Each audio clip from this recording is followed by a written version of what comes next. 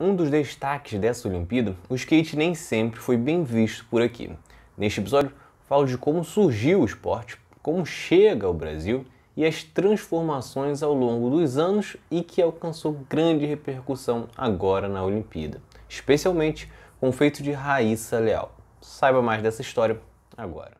É Pilatos lá na Bíblia quem diz, e também faleceu por ter pescoço o infeliz autor da guilhotina de Paris.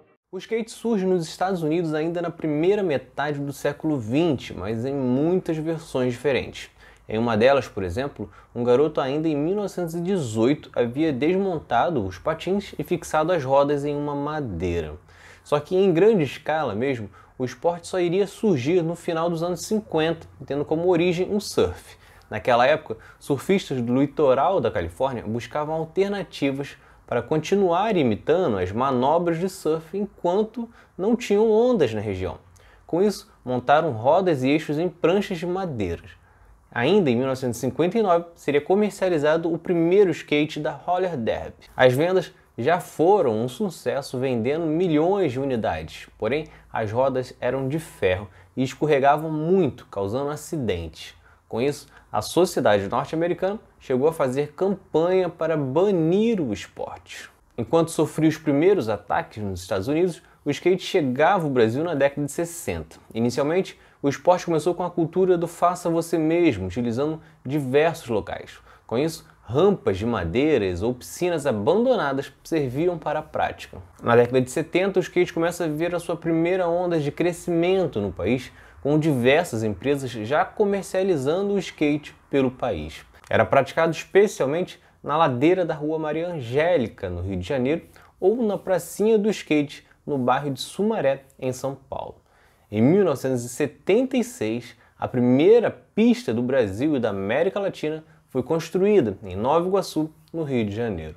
Depois disso, abriu portas para as construções de muitas outras pelo país. Ainda neste processo, o skate apresentava uma identidade própria, se ligando à contracultura que surgiu na época.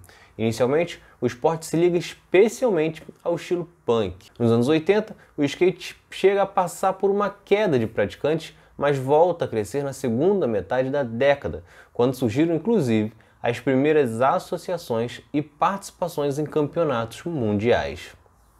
O esporte começa a ser tema de filmes e aparecendo em muitas produções de sucesso, como o filme De Volta para o Futuro. O skate passa também a receber influências de outros estilos, misturando o punk com uma cultura urbana com ênfase em hip hop. Só que o skate passava longe de ser bem visto, isso porque a prática era especialmente um lazer jovem e por uma camada menos favorecida da sociedade. Isso tudo, somado ao estilo de se vestir, à música que curtia, entre outras características, fazia com que parte da população, assim como os agentes de Estado e a política, olhassem para o skate como uma prática marginal. Por muito tempo era feita uma verdadeira campanha de marginalização da prática e de uma repressão. Em 1988, por exemplo, o prefeito de São Paulo, Jânio Quadros, proibiu o skate em toda a cidade. Jânio alegava barulho e baderna feito pelos skatistas. A decisão rendeu protestos e até uma baixa assinada entregue ao prefeito. No entanto, a proibição só seria revogada quando Luiz Erundina assumiu a prefeitura de São Paulo, substituindo Jânio em 1989, permitindo novamente o skate pelas ruas de São Paulo. Só que embora este tenha sido o caso mais marcante por se tratar de uma das maiores cidades do Brasil, Muitas outras também proibiram o skate, inclusive por muito mais tempo, como Blumenau, em Santa Catarina. Nos anos 90, o que antes era apenas um passatempo começa a ficar ainda mais sério e o skate toma a direção do profissionalismo. Mais pessoas passam a se dedicar exclusivamente à modalidade e muitas competições de peso começam a surgir.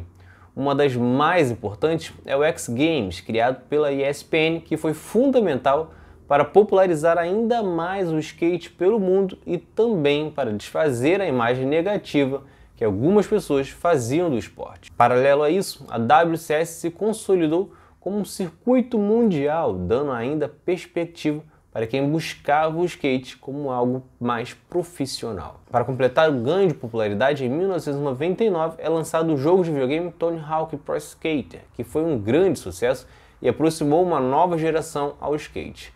Para muitos, Tony Hawk, inclusive, é considerado o maior skatista de todos os tempos, exatamente por colocar o esporte na tela de tantas pessoas. Ainda na década de 90, um outro nome foi importante para a popularização do país. Trata-se de Bob Burnquist, que era um dos grandes destaques do esporte, brigando por títulos e criando técnicas únicas. Ele, inclusive, depois chegaria a ser presidente da Confederação Brasileira de Skate. Falamos da cobertura esportiva, dos principais atletas, do videogame, só que a música também foi fundamental para atrair novos simpatizantes ao skate. Foram diversas bandas que demonstravam no dia a dia e nas letras a paixão pelo skate. Foram os casos de CPM 22, Marcelo D2, mas principalmente de Charlie Brown Jr. Ao falar de skate no Brasil, você automaticamente associa a Chorão e toda a banda. São mais de 30 músicas do Charlie Brown Jr. que falam de skate em algum momento da letra. Só que além do ganho em divulgação, o skate seguiu evoluindo também na estrutura nos anos 2000.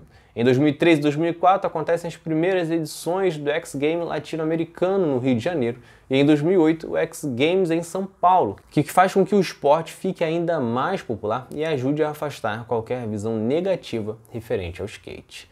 Nesta década foi criado também o Circuito Brasileiro, com disputas em diversas cidades do país. Segundo pesquisa do Datafolha de 2009, o Brasil tinha 3 milhões e 800 mil praticantes de skate no país. Hoje, segundo pesquisa do Sport Goals Intelligence, o mercado de skate movimenta 1 bilhão por ano em venda de roupas e acessórios.